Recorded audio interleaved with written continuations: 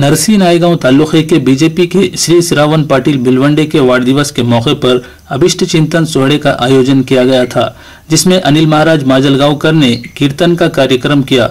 इस मौके पर बीजेपी के वरिष्ठ पदाधिकारी, जिनमें प्रदेश उपाध्यक्ष श्री भास्कर राव पाटिल खतगांवकर श्री राजेश पवार, श्री संतुक राव हम्बरडे श्री दिलीप कंदकुर्ते, श्री ठक्करवाड़ के साथ कई मान्यवर नागरिकों और कार्यकर्ताओं की बड़ी संख्या इस मौके पर मंगल कार्यालय में मौजूद थी। कई युवाओं की जानिब से अपना रक्तदान करते हुए देखा गया, जिसमें बीसों नौजवानों ने भाग लिया। अनिल महाराज माजलगांवकर का कीर्तन होने के बाद केक काटकर श्री श्रावण पाटिल भिलवंडे साहब का वार्ड दिवस मनाया गया।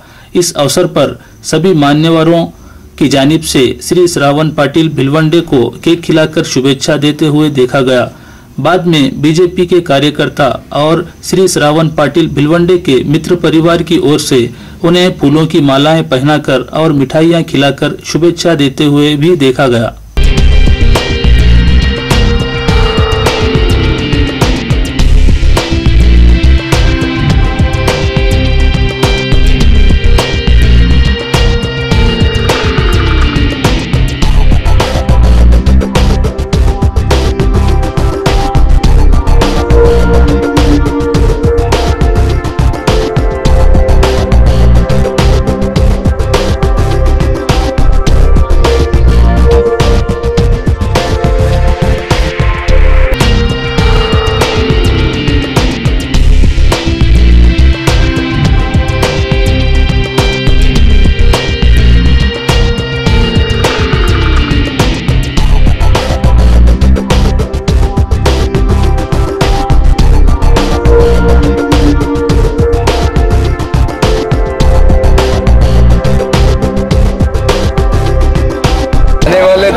2019 के चुनाव में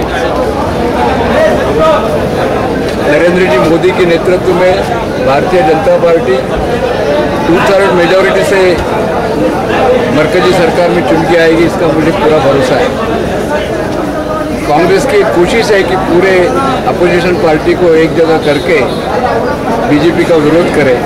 और हमने हालात देखे हैं कि राहुल गांधी के नेतृत्व के बारे में सभी पार्टियों में मतभेद है। कल मायावती ने कहा कि हम जो है ना, मध्य प्रदेश में उनके साथ चुनाव का समझौता नहीं करेंगे।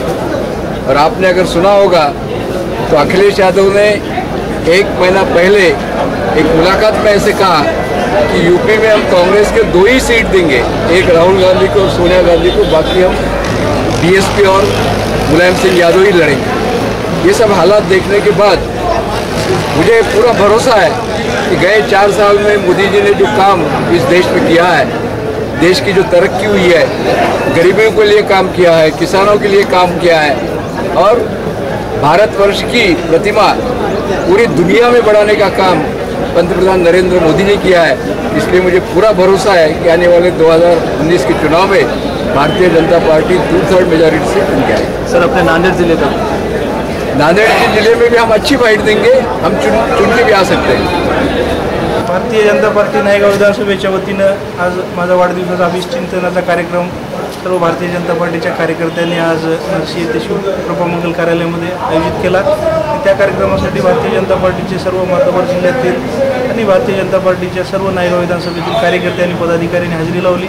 मला त्यांनी भरभरून शुभेच्छा दिल्या या या वाढदिवसाच्या निमित्ताने या ठिकाणी अनिल महाराज माजलगावकर यांचा कीर्तनाचा कार्यक्रम झाला. आम्ही आमच्या कार्यकर्त्यांनी ठरवलं की एक वाढदिवस आपण आगळा वेगळा कार्यक्रम करावा. आषाढी वारी चालू आहे. आषाढी विठ्ठलाची वारी चालू. आषाढी एकादशी जवळ आले सर्व कार्यकर्त्याचं मत ठरलं की आपण एक कीर्तनाचा कार्यक्रम सर्व कार्यकर्त्यांना कीर्तन कीर्तनाच्या कार्यक्रमातून वाढदिवस साजरा करावा असं ठरलं.